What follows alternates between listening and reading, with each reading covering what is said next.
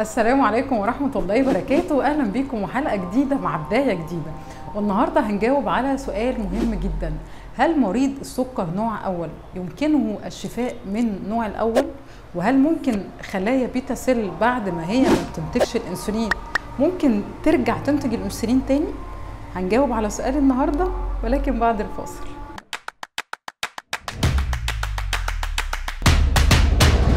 أهلا بيكم. طبعا هجاوبكم على سؤال النهارده ولكن لازم نفهم كام نقطة كده عشان نفهم ال- الدنيا دي فيها إيه. لأن ممكن ناس مثلا تحلل تحليل ال C-peptide وال anti-GAD تلاقي الإنسولين ال beta cell ما بتنتجش إنسولين خالص وبعد فترة مثلا سنة أو سنتين تبص بقى في إنتاج للإنسولين. هو إيه اللي بيحصل؟ طيب خلونا نفهم الأول مرض السكر النوع الأول ده قصته إيه؟ هل هو زي سكر نوع التاني لا مش زي سكر نوع تاني خالص. سكر النوع التاني ممكن يبقى فيه عامل مشترك إن يبقى فيه family history مثلا الأب أو الأم ممكن يبقى مرضى سكر بنقول إن هو lifestyle غلط فدخله في سكر نوع تاني وهكذا. لكن سكر نوع أول مش شرط خالص إن الأب أو الأم يكونوا مرضى سكر بالعكس ممكن يكونوا الاثنين كويس جدا مفيش أي تاريخ مرضي في العيله ما هو عشان كده بقى سكر نوع أول ما يبقى ما بتشخصش أصلا غير نوع أول. دي نقطة، النقطة التانية هل هو نتيجة lifestyle؟ يعني هل أنا أكلت مثلا أكل مش صحي أو ال lifestyle بتاعي غلط عشان كده ما عدتش بنتج أنسولين؟ برضه لأ. عشان بس ما تلوموش نفسكم، فكرة منتهى البساطة بيبقى هنا مشكلة في المناعة، يعني حصل عندك مشكلة حاجة ليها علاقة بالمناعة فقط لا غير فبدأ الجسم يهاجم خلايا beta cell ويدمرها.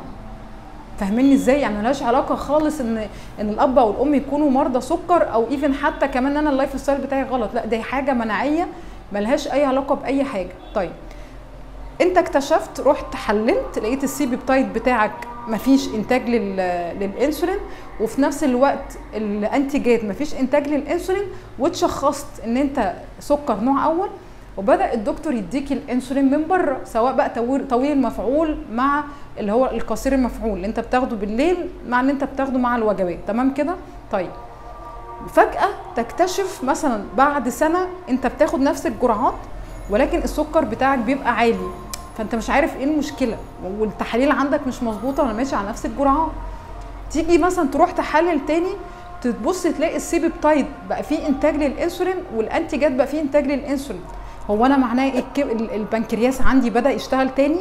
يعني أنا ممكن أوقف إنسولين؟ السؤال ده مهم جدا لأن في مرحلة هنا بنسميها شهر العسل. يعني إيه؟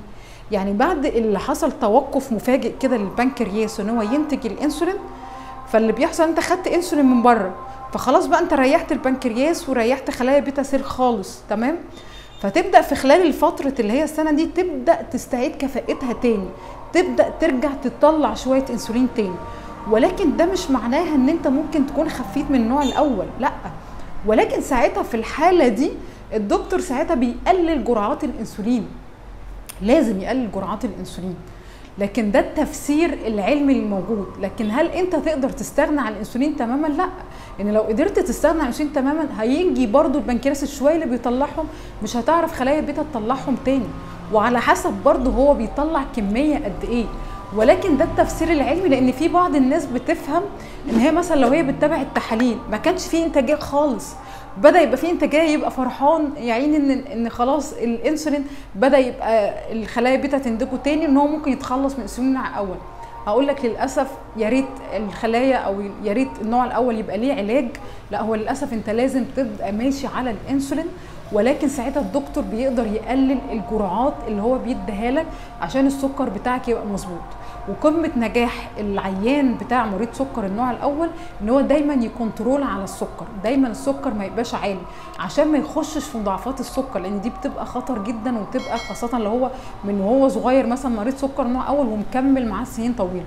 فدايما ببقى recommend معاك إن أنت تلعب رياضة عشان تحسن من حساسية الإنسولين بس طبعا تحت إشراف coach وتحت إشراف الدكتور عشان مهم جدا تفهم تاكل إيه قبل التمرين عشان خاطر ما يحصلكش هبوط لأن هبوط السكر نوع أول ده بيبقى خطر جدا.